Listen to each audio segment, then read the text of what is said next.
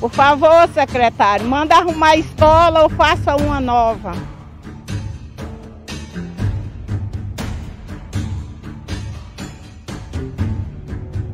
Ô secretário, por favor, dá uma olhada nas nossas crianças, né? Elas são o futuro do Brasil, então elas precisam estar bem estabilizadas, né?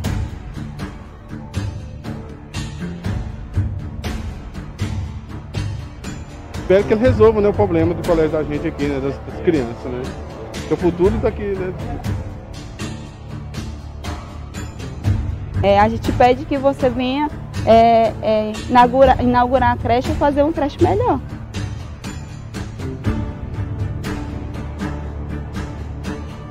que ele, que ele tome providência, um local mais adequado para os alunos, né? Porque do jeito que está aí não pode ficar não, hein?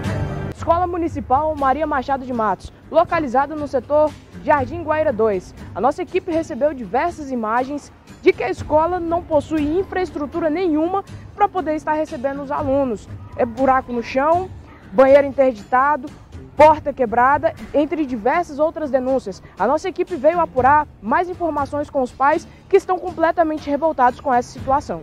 Os alunos estão aqui correndo risco, né? As portas estão quebradas, o chão está cheio de buraco, banheiro interditado, eles estão, é, as, todas as turmas usando só um banheiro, tanto menino quanto menina, né? eu acredito que precisa de uma reforma ou achar outro local apropriado para colocar nossas crianças, né? É um dever do, do, do, município de cuidar das crianças, né? E eles são pequenininhos, muito pequenininhos. Lá dentro tem uma porta onde, onde é a sala da minha filha que ela está enferrujada e aberta. Se uma criança cair, o professor tem todo um cuidado, ele bota algumas cadeiras, porque se alguma criança cair, ela se machuca e um machucado, né, feio, né?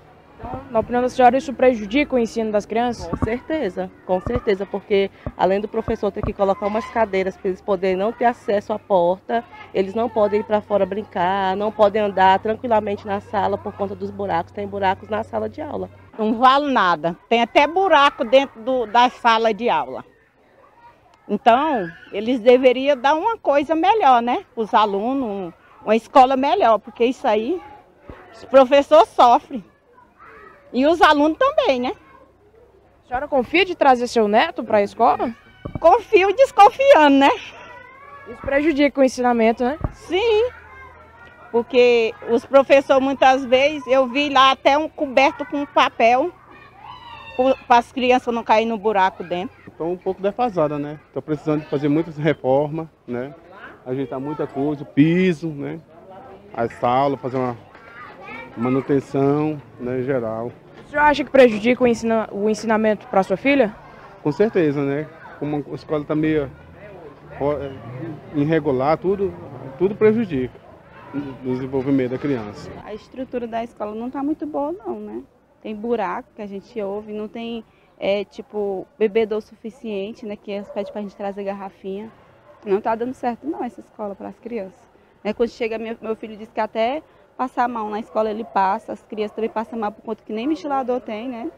Aí fica ruim, tá prejudicando, porque muitas das vezes eu não trago meu filho, por conta que, que ele diz que passa mal, diz que os coleguinhas passam mal, desmaia por conta do calor, né? Aí eu disse, então fica aqui em casa. A gente precisa de uma escola melhor para os nossos filhos, uma creche melhor. Aqui mesmo tem uma creche, mas faz mais de três anos que não é inaugurada. Nossas crianças passando por essa situação, né? As crianças não merecem isso. Como que eles querem que as crianças tenham um um futuro de qualidade, não ensino de qualidade dessa forma.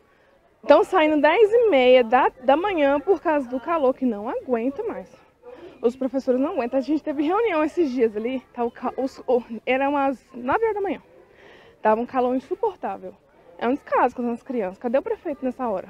A senhora confia de deixar a sua filha é, numa escola que está caindo aos pedaços? Com certeza não, mas se não trazer, leva falta. Aí fica difícil, né? E como que ela vai aprender se ela está na primeira etapa, né? Ah, a questão também é... Tá, tá, a professora disse que está tendo até é, fungos, né? Tá difícil. Mofo, quando chove, entende? A minha filha é, vem com roupa limpa, sai com roupa suja, porque tem um buraco enorme na sala dela. Tá difícil. Horrível. Não tem infraestrutura nenhuma, porque não tem é, espaço né, para as crianças ter o recreio, brincar, correr. Tem nenhuma infraestrutura e um calor danado que todo dia tá saindo 10 e meia agora. Porque é muito quente, né? Muito abafado e as crianças têm que ficar saindo mais cedo. Praticamente nem estuda direito, né? A nossa equipe recebeu algumas imagens de que o chão lá está todo destruído. A senhora confia de trazer sua, sua, sua filha para a escola? Eu tenho que trazer, né? Porque senão como é que vai ficar? Em casa também não dá, né? Porque ela tem que estudar, senão atrapalha no estudo dela. É, eu gostaria que ele melhorasse, né? A escola das crianças aqui, porque os munic do municipal tudo já foi arrumado, né? Aí seria muito bom se ele arrumasse outro lugar ou reformasse a escola. Eu estou aí precário, entendeu? Devia arrumar uma escola melhor para os alunos aí, um, lo um, local mais adequado, porque até mesmo tempo calor, já tem mais de duas semanas, só 10 e meia, 10 e meia, 10 e meia. Assim, eu venho deixar minha filha aqui, eu sou motorista de aplicativo, aí às vezes eu tenho que parar minha corrida para mim vir buscar ela e ficar até duas horas da tarde esperando meu outro menino sair da escola para ficar com ela, entendeu? No horário de meu dia que saía meu dia, já tinha pessoa certa para poder ficar. Não só eu, mas eu, eu creio que tem muitos pais assim também nessa situação, tá entendendo?